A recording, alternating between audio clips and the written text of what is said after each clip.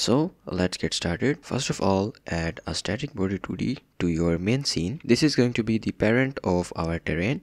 We can rename this to terrain and as the child of this terrain, you have to add the following nodes. Path 2D, line 2D, polygon 2D and finally collision polygon 2D. We're going to use the path 2D node to define the shape of our terrain. So let's do a basic one. And then I'm going to smooth the curves. Once we have defined this shape, we can go ahead and add a script to this terrain node. In the script, in the ready function, we are going to create a variable called curve which is going to be equals to the curve of path 2d and then we're going to define another variable called polygon.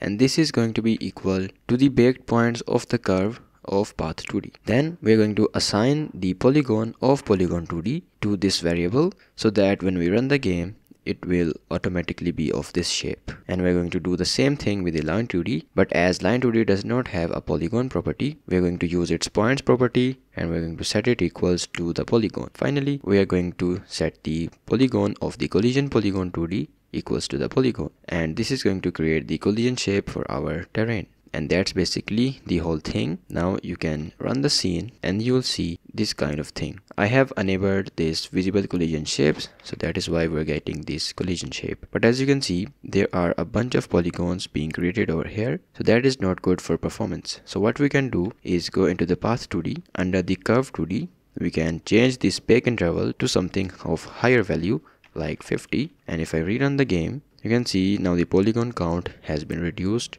do keep that in mind that the higher you go, the less precise your collision shape will be and your path will be a little bit edgy. So if I make it like this, as you can see, the path become edgy. If you want to keep it balanced, you can do it by just setting this to 20. It's precise and smooth as well. Now Let's add textures to this terrain. To add textures, we are going to select the polygon 2D. Under texture, I'm going to drag and drop the dirt texture that I have. You can download these assets from itch.io. I will be giving the link of this in the description. You also have to set the repeat mode to enabled so that the texture will be repeated all across this terrain. If I run the game now, you'll see that the texture is now applied correctly.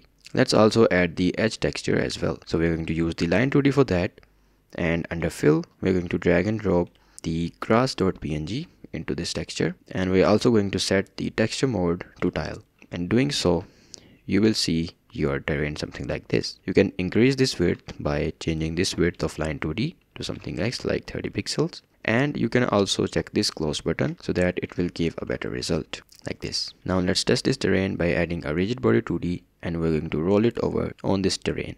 Let's place this over here. If I play the scene you can see the ball will now roll over this. And this is how you can create curved terrain in Godot